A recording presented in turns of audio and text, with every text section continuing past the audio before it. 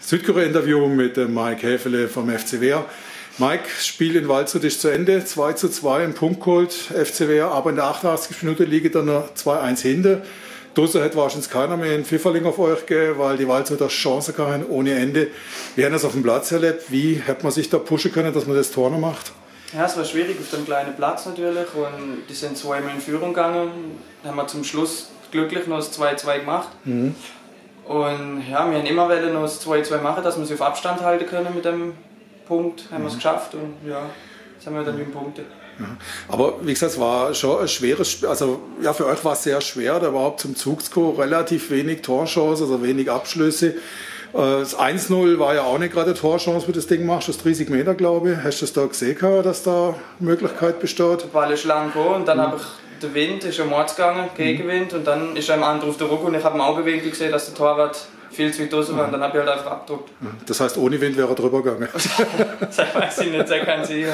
Okay, aber ich denke, solche Spiele brauchst man dann auch mal, dass man mal einfach mal einen Duselpunkt holt, oder? Mit Sicherheit, ja, das gibt es mhm. immer mal. Und gegen Tigen waren wir so stark und jetzt wieder, mhm. ja, aber war auch schwierig heute.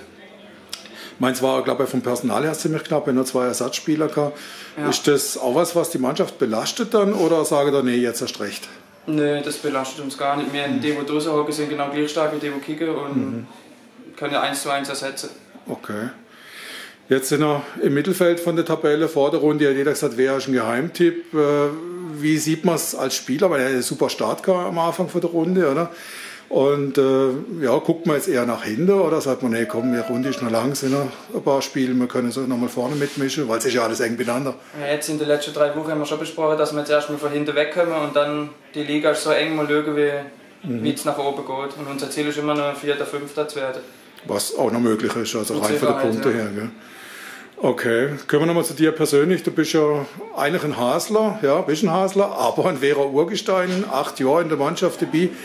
Wie, äh, ja, wie fühlst du dich wohl? Blieb das so vorläufig? Oder? Mit Sicherheit, ja. Ich bleibe im FCW sicher noch zwei, drei Jahre erhalten. Es macht okay. mir Spaß hier, die Jungs.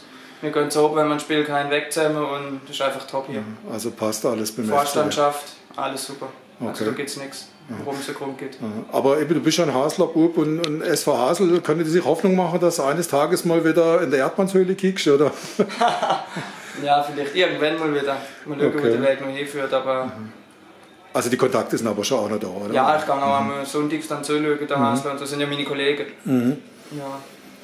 Okay, Mike, dann wünschen wir dir noch eine erfolgreiche Rückrunde und alles Gute. Dankeschön.